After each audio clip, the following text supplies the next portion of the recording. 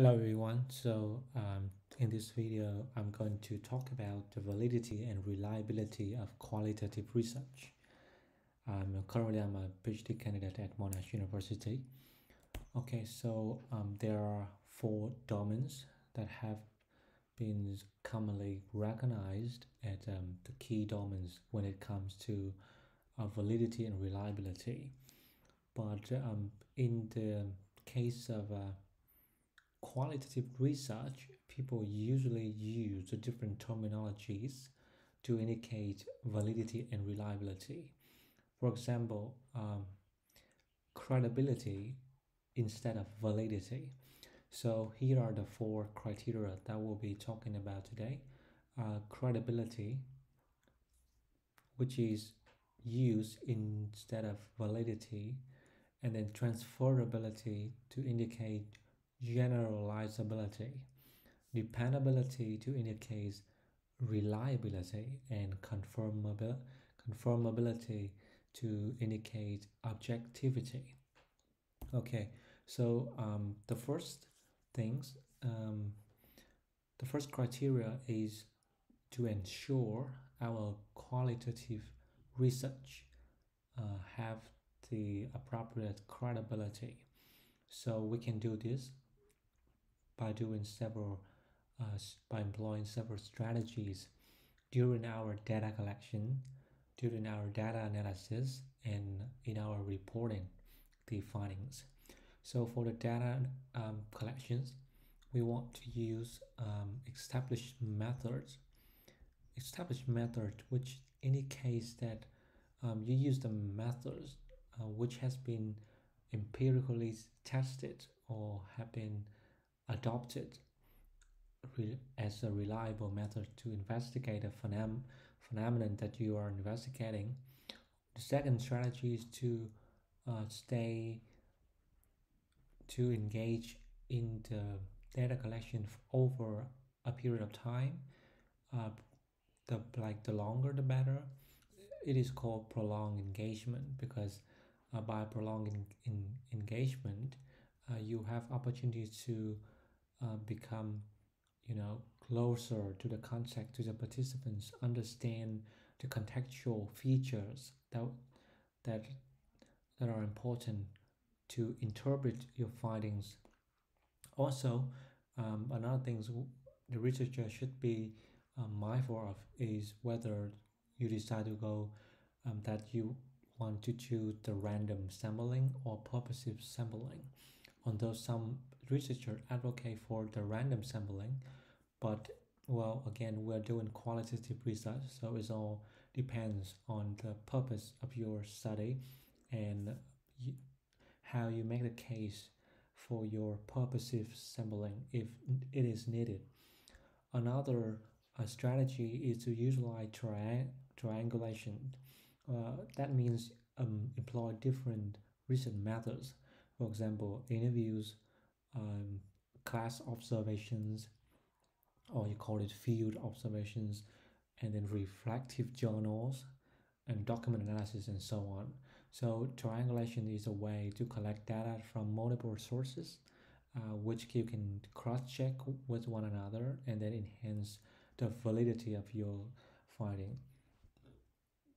Also, it's important that we focus on the honesty of the participants. Uh, for many reasons, they may not provide the um, the findings um, in the in all honesty. You know, so we can do this by by you know pointing out that there is no right or wrong answer at the beginning of your interview, and um, they to make sure that they understand that they don't lose any credibility if you know telling the truth something or even that's their weaknesses. Also um, iterative questioning is also a strategy. That means you keep you keep probing you keep probing into uh, the topics or the areas of knowledge that you expect your participants to respond. The reason is because you can dig deeper into uh, the content of what you want the participant to res- what you expect the type of info- information you expect by uh, you know asking um, different but related questions, you can see how the participant respond to the, the phenomenon that you are trying to investigate uh, with richer data and also cross-check their consistencies in terms of you know their response. Now let's come to once you got the data now you come to the stage of analyzing the data. It's important um, for the researcher to reflect on the effectiveness of your data collections. Um, and then during your data analysis or when you obtained preliminary findings um, it's, it's good for you to debrief your supervisors or your project leaders uh, about the prelim preliminary findings and also gain feedback from peers and from other attending conference is also a way to gain feedback.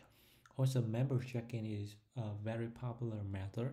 That means um, there are different ways of doing member check-in. For example, just sending out the transcript of the interviews to your participants, or even more, uh, you can report to them about emerging themes from the data that you have to see if the themes actually reflect their thinking and um, and you know what they actually meant during the interview.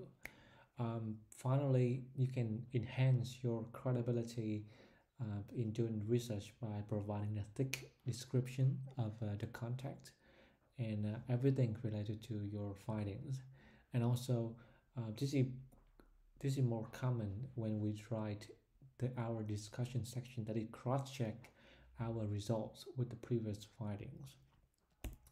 Now let's come to the transfer transferability. That means uh, the generalizability of qualitative findings. Um, the first thing we must be we must acknowledge is that there is an ongoing debate.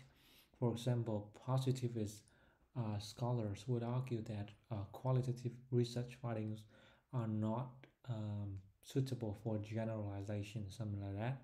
However, there are also debate that um, there's also argument that um, even we are conducting qualitative research, the population is still part of a larger sample, and in a way, it is still generalizable um, as long as the the context to be general, generalized, uh, the finding are to be generalized, uh, have similarities with the context of the research.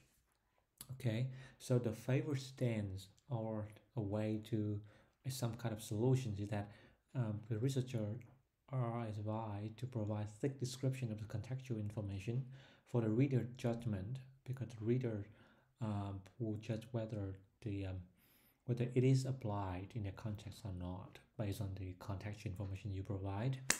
Also, um, connecting different uh, environments, that means, uh, or if different contexts, that you should also point out the similarity and differences between the contract you are doing uh, with other con- with other contexts. Okay, um, but again, the, con- the concluding point in our like to make in this video is that when we do qualitative research, um, it's all come down to the word contextual or the word contact. That means is there a possibility that um, quality finding can be truly transferable without or independent of con- context, its context? For me, it's, it's highly improbable that will happen that way. Okay, and the third criteria um, that is dependability or reliability. It is closely related to validity or the credibility.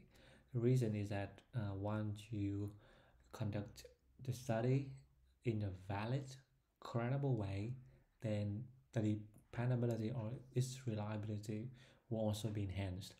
So um, when we talk about the reliability, um, it is concerned with whether the research can be replicated even with different results, but there, there is sufficient information for it to be replicated. So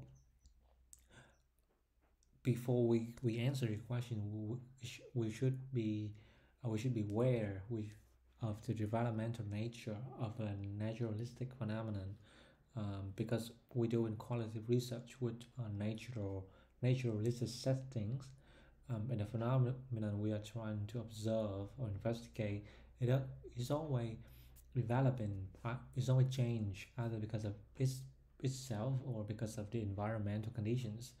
So um, the way that we can achieve reliability is, is not to uh, for other researchers to replicate and find the same result, but more for us, the researcher, to provide a detailed processes um, that you that you employ when you collect the data, so that they can follow um, the similar processes to conduct a similar study. You know, even with different findings.